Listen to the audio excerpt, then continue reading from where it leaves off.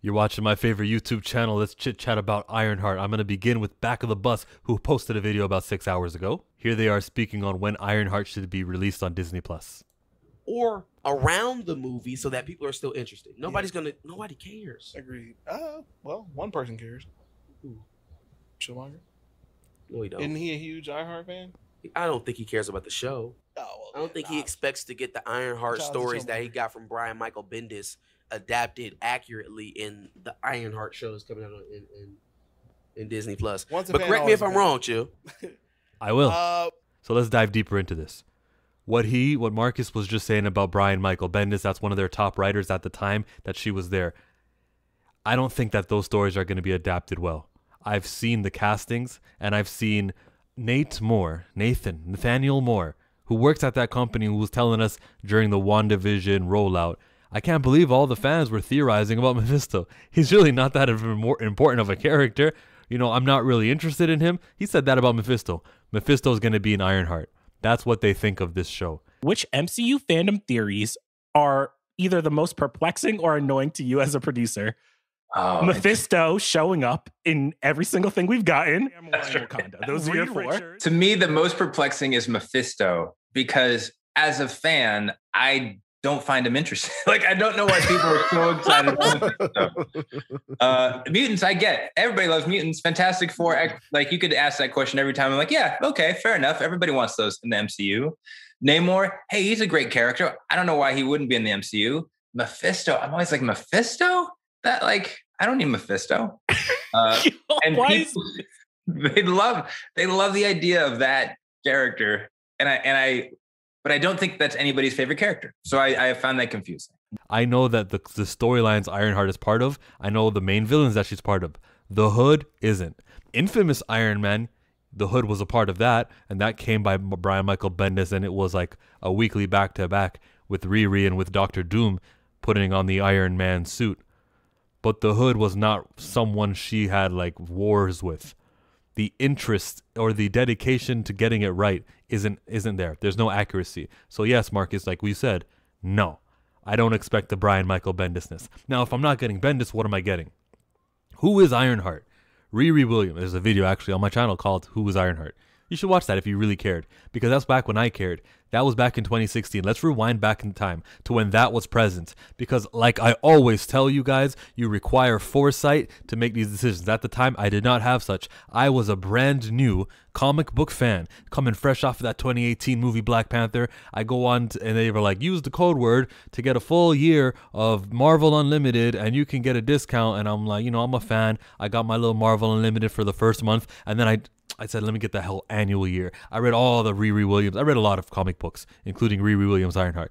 At the time, if you went to the comic book shop back in like 2018, you would see a comic book where she was there. She had an ongoing series.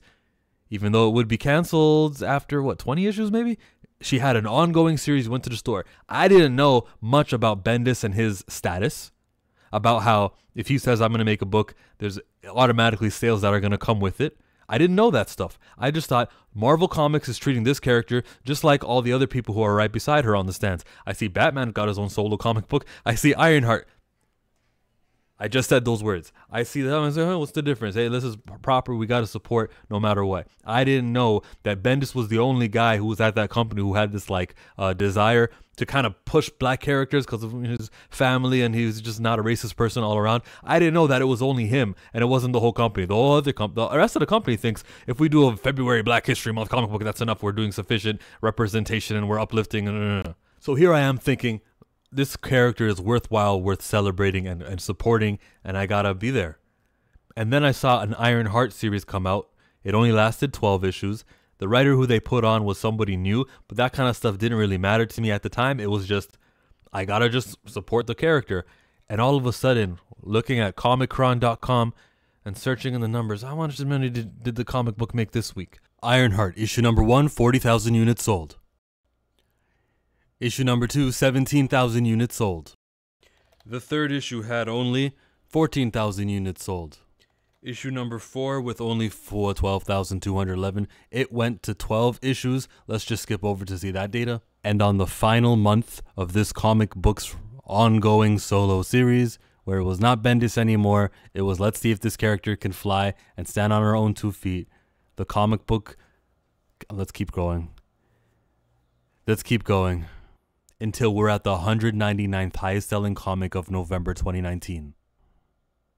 The comic book finished off with 9,011 units sold.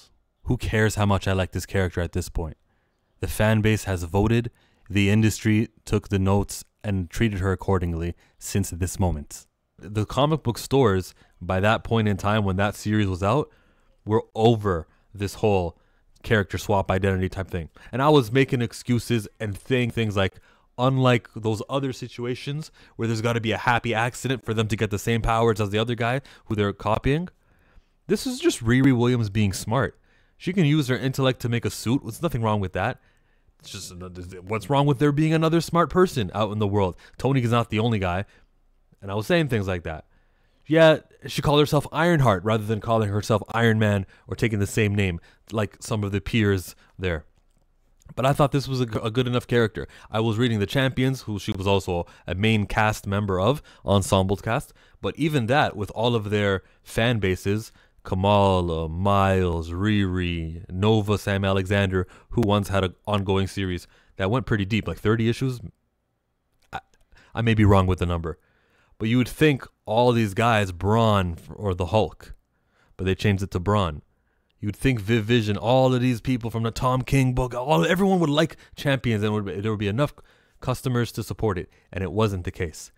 I learned somewhere in that period of what sales meant, and then I saw as the years passed how absent she has been from events. After Bendis left, the same thing happened with Miles. Miles Miles Morales Spider Man, who of course I have to say Miles because he's not Spider Man, but that's not the point of this video. But to prove it, Miles Morales stopped being so important in the comic book landscape. Same with Riri Williams. You might get her pop up in Gerry Duggan's Iron Man's. Maybe Dan Slott will write her in, in the Iron Man series just like on the computer saying hi on FaceTime. But she was not a big deal, and it's been long enough for me to get to the conclusion you know I've already made. Marvel has two black comic book characters. Black Panther, Storm. And shout out to Storm because they are really working hard on elevating this character. She feels like an A-lister the way that she's taking out Nimrod and doing all the uplifting that they're giving her, putting her on the Avengers. They're saying that she's going to get her own solo series. I prefer if it was a better writer, or rather, I prefer it was a higher profile writer just for the sake of sales. But maybe because they got such a low profile writer, Murewa Ayodele, no disrespect to him and his talents, and I like what he wrote in his little like, and like like uh, you know the little write ups that they do to advertise solicitations. I like what he said. I like it, uh, but because he's so low, maybe because his page rate is so low, that this book doesn't really need to even have to sell that much. Maybe they could be killing it with the profits if this is like a fifty thousand units sold a year. That's optimistic, but maybe it'll be somewhere like thirty thousand, and they go, yeah, we're we're not paying anyone. Lucas Werneck isn't that high of a profile pay, I don't think. Maybe he's like mid tier, but I think that boom, we got Storm, huge, two black characters. Ironheart is not one of them. At the time, 2018, I'm getting into it. She's got a comic book. You know, I would even argue she's a top 20 Marvel comic book character with the effort they were putting that year. But that year in the vacuum requires foresight. And with foresight, with the step back, with realizing just how popular new characters get, Gwenpool, who's new? Every character was new at some point. The ones that we have now today in 2024 who are popular were the ones who started in the 60s or in the 70s and 80s. The closer we get to the present, the very less likely that a comic book character will take off. Deadpool in the 90s, maybe the biggest of that era. And um, who else do we got? If we go to the aughts, who, a couple of mutants here and there who kind of got popular, you know.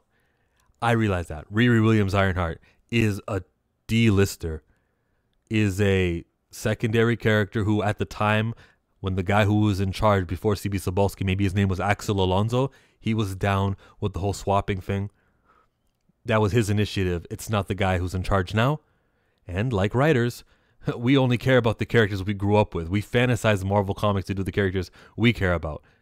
In comes a new guy and he's like, "What's going on here? I wasn't using. I'm no no interest in using those characters. I got my own ideas of diversity." Shout out to Synch, who Gerry Duggan was writing, and now is not part of the X Men anymore. It's gonna be Yo Ayo. It's gonna be Oya, Temper, who's gonna be the black representative on the X Men. And then when this writer is done with that, there's gonna be another black representative on X Men. Start and stop pushes. Because it's not like they don't do black characters. They just start with one guy. Oh, it's not working. Oh, start with oh, it's not working. Oh, it's not working. No one will ever get hot. You don't have that problem with Storm. She's always there. You don't have a problem with Black Panther. He's usually a member of the Avengers or is usually around.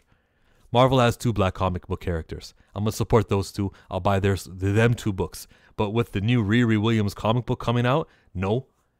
I saw how they delayed it. There was four issues created by Stephanie Williams was the writer.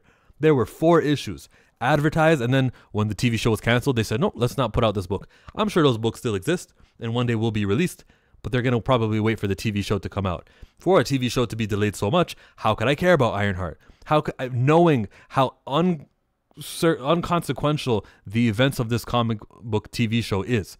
I know that if you can delay it for two years, then it's got nothing to do to tie into the rest of the overarching story. Nothing to do with multiverses. She's not going to crack the code to the timeline, find her way into the TVA because she created her own portal because she's so smart. There's none of that. Nothing will eh, cross with anything. It's just going to be these stories about the Hood, Parker Robbins. It's going to be a story about Mephisto and her inner demons.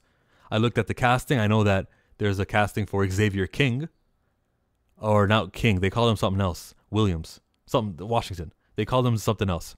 They got her friend Natalie is still alive, and they got someone there. I guess she's gonna die. Spoilers. She's supposed to die. It's Uncle Ben. It's the King T'Chaka. So someone's got to die for her to get started but there's really nothing uh, interesting to me. And I don't care about what they do with Wakanda because Marvel's MCU has killed the Black Panther and they're going to do like other people and try to elevate other people. I don't care about Eyes of Wakanda either. Eyes of Wakanda is not going to focus on T'Challa. And I see the overarching message to de emphasize the Black Panther, T'Challa, the Black Panther, and make you unassociate the words Black Panther with this character. They'll do Black Panthers in the past, like T'Chaka and Azzuri, like the video game They'll do Black Panthers and Eyes of Wakanda. Oh, this is what happened the first time somebody tried to take vibranium, and it's an animated show about Black Panther to somebody, some next guy. They'll probably do something with the child in the future because they they're animating it. They'll do anything to make you think of Black Panther, the word Black Panther, but not the character who is the Black Panther. That's their point. That's the that's the racist shit that's going on there. No, I'm not interested in Eyes of Wakanda. No, I can't be interested in, in Ironheart. My heart will not allow me to emotionally invest in a character you think is this worthy of this. The video I'm talking about is from Back of the Bus and it's right on side of the screen. Please watch them. And then check us out. I'm be joining Marcus and Darius tonight. And YouTube move the thumbs up button. It's on the right. Please click it. Thank you.